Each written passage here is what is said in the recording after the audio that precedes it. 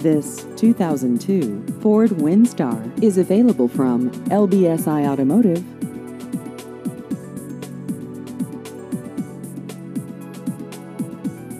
This vehicle has just over 158,000 miles.